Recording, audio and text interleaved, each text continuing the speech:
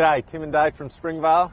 This is our estate Pinot Noir block, uh, planted in 1986, 26 year old vines, and it's really the fruit that makes this, vi- this wine, isn't it, Dave? It is. Uh, this is the best fruit in the winery every year. Um, it's concentrated, it's expressive, it's easy to work with, it's balanced. It's uh, you know this is really what we're all about here, making Pinot Noir like this.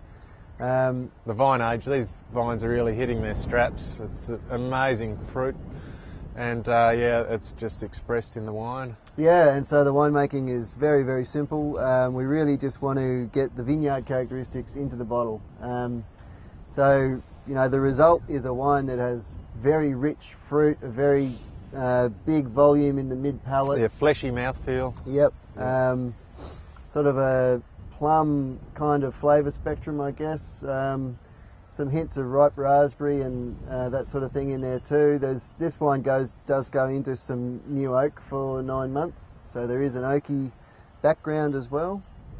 Um, and these wines, uh, they're silky, they're generous, they're lovely. I mean, I, Yep. I love the stuff. I drink heaps of it.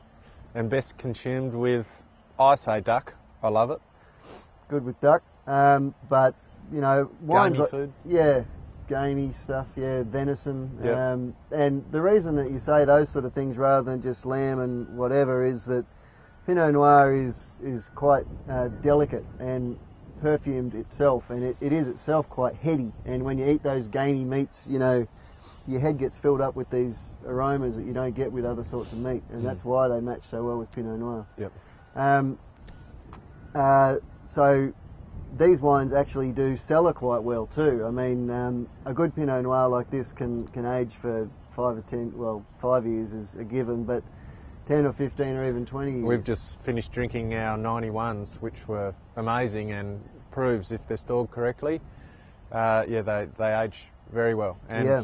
if they're balanced really well, you really get the most out of them, which this one is. That's right. And, and Pinot Noir uh, wines that are like this, they, they, they undergo this really dramatic transformation between young Pinot and old Pinot. And it's those older wines that are just so complex and really create the, the Pinot Noir nutters that are out there in the market. It's those ones with a bit of age on them that are so interesting and thought provoking wines.